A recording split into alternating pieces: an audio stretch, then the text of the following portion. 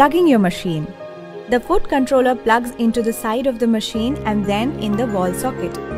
Then turn on the machine by using the power switch. Presser foot lifter. The presser foot lifter located at the back of the machine is used to raise and lower the presser foot at the time of sewing.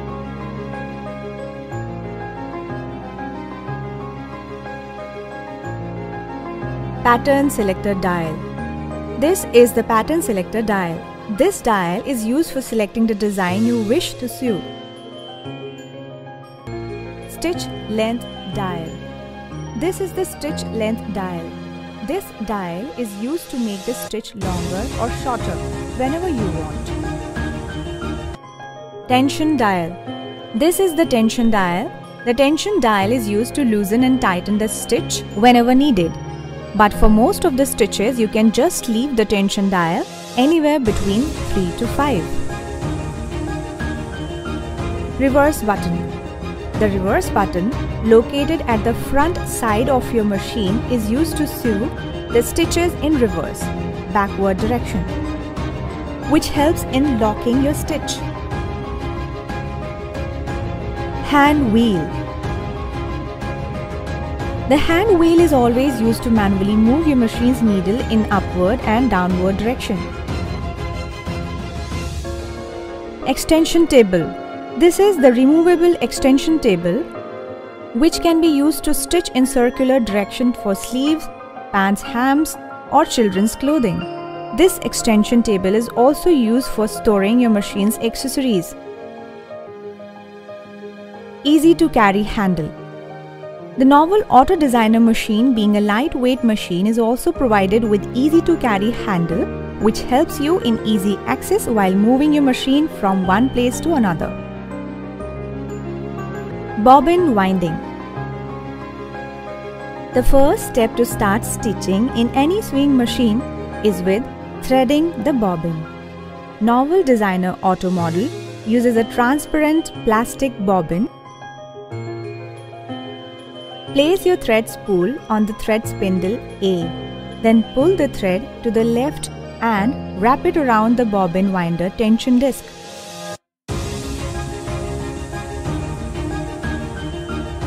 To insert or remove the bobbin from the shuttle, please make sure that the needle is at its highest position by turning the hand wheel counterclockwise. Now, remove the extension table from the machine and then open the shuttle cover. Insert the filled bobbin so that the thread moves in clockwise direction. Now, pull the thread through the bobbin case, slit and then under the finger. Hold the bobbin case with the latch and insert into the shuttle. Close the shuttle cover and then put back the extension table. The process of bobbin winding has now been completed.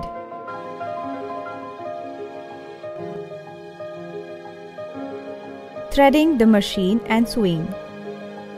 Raise the presser foot lifter located at the back and then pull the thread to your left from the thread spool through the upper thread guide 1 and then down through the tension disc. Follow the slit till the end and then around the U-turn and back up. Bring the thread from the right to left so that the thread slips into the take-up lever easily. Bring the thread back down till the end and slip it behind the horizontal needle clamp guide. Thread the needle from the front to back pulling about 6 to 8 inches through the eye of the needle. Now you will need to raise the bobbin thread from the shuttle. Sewing Now you will need to raise the bobbin thread from the shuttle.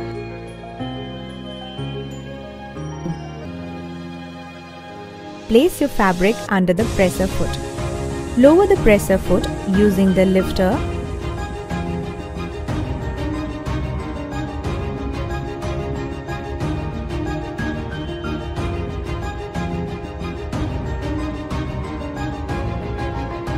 and step on the foot controller slowly to begin sewing.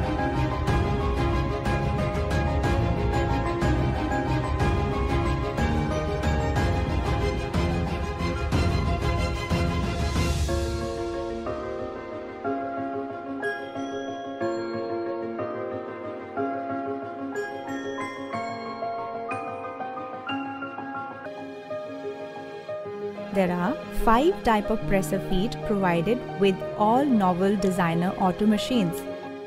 All-purpose presser foot, picot or hemming presser foot, zipper presser foot, buttonhole presser foot, button stitch presser foot.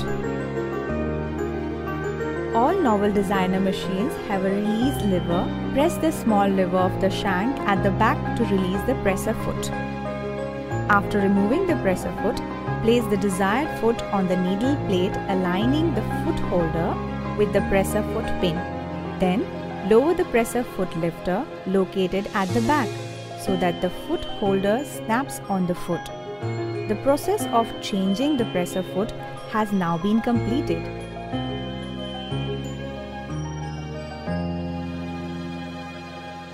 all-purpose presser foot.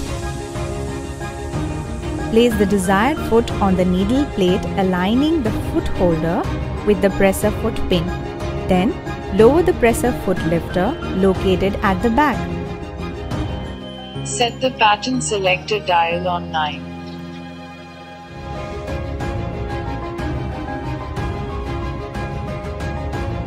Then set the selection and tension dial. Now, before you start sewing, you will need to raise the bobbin thread from the shuttle. After putting both the threads under the presser foot and towards the back, and place your fabric under the presser foot and align it with the sewing guideline provided on the needle plate and step on the foot controller slowly to begin sewing.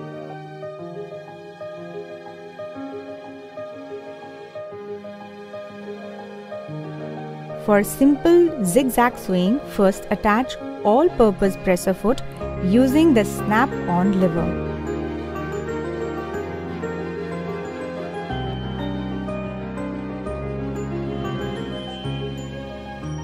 Set the pattern selector dial on 9.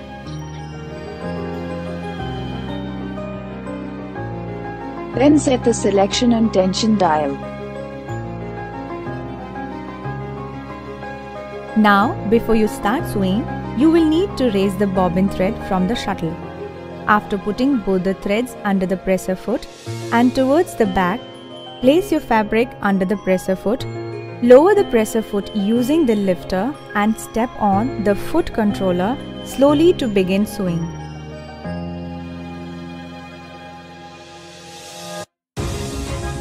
Rolled hemming presser foot picot. For roll hemming picot, place the roll hemming presser foot on the needle plate, aligning the foot holder with the presser foot pin. Then lower the presser foot lifter to snap hold the rolled hemming foot.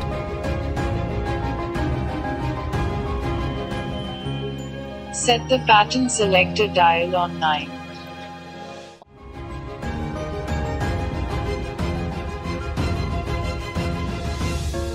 Then set the selection and tension dial. Again before you start sewing, please do remember to raise the bobbin thread from the shuttle.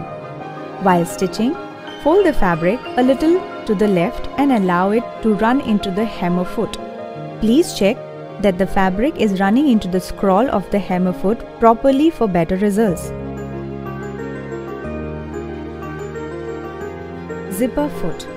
For stitching a zipper, Place the zipper foot on the needle plate, aligning the foot holder with the presser foot pin. Then lower the presser foot lifter to snap hold the zipper foot. Please check that the zipper foot has two snap-on pins on the foot, one for each side.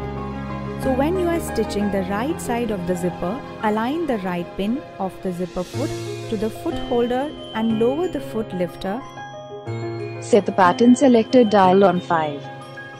Then turn the fabric and sew the left side as same as the right side. Buttonhole The most commonly used style is the bar tack buttonhole. For stitching a 4-step buttonhole, first place the buttonhole foot on the needle plate and attach it to the presser foot lifter. Now mark the buttonhole on the fabric and position the foot over the fabric using the marked area. Now, if you look closely on the stitch dial, there is a rectangular marking. Simply select it first and then select 1 on the pattern selector dial to sew the first step of the buttonhole.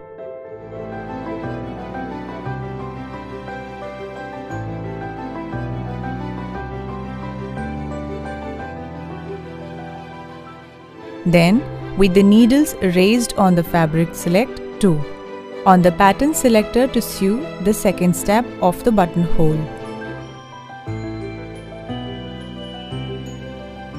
After completing the second step, raise the needle out of the fabric and set the pattern selector dial on 3 to sew the third step of the buttonhole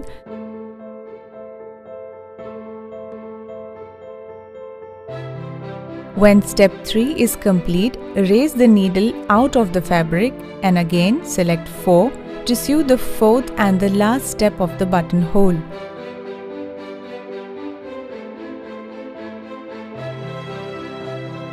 After completing step 4, raise the needle out of the fabric and cut the threads.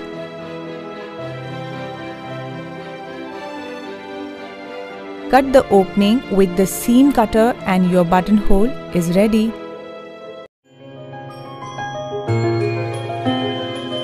Button stitch presser foot.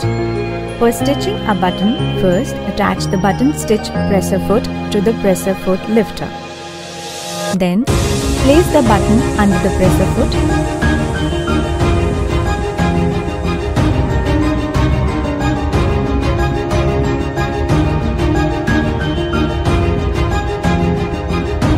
pattern selector dial on 9.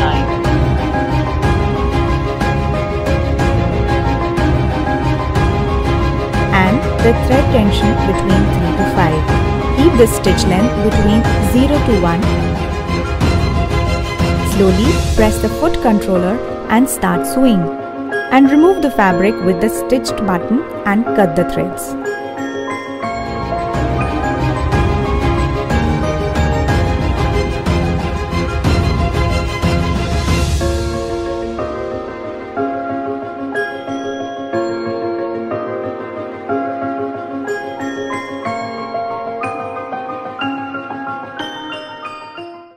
Set the pattern selector dial.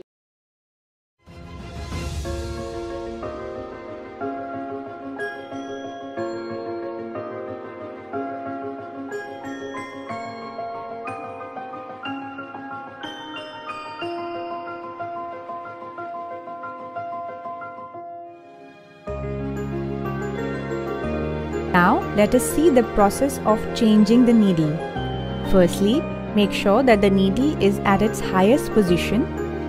Use the screwdriver provided with the machine and loosen the needle clamp screw to remove the needle. Please note that the needle has two sides. One is the flat side and the other is the round shaped side. Place the flat side of the needle facing inside and push the needle into the needle bar and tighten the screw.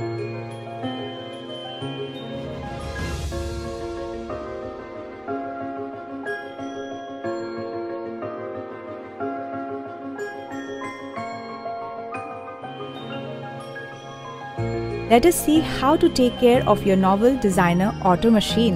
First step towards maintaining your machine is to unplug it. Then,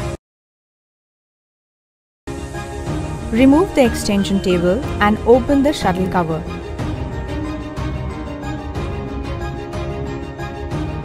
Hold the bobbin case with the latch and remove the bobbin case. Then, open the hook ring holders and remove the shuttle race hook. Clean the shuttle ring and the hook with the brush provided with the machine accessories or use a soft dry cloth to do the same. To put the shuttle hook back in the machine, hold the hook with the center pin and fit it back carefully into the shuttle driver forming a circle. Remember to check that the needle is at its highest position when you are putting back the shuttle hook or else it will get damaged. Now Align the shuttle ring with the hook making sure that the back pin fits into the notch. Then lock the ring by turning the holders back into position and insert the bobbin case. Shut the shuttle cover and put back the extension table.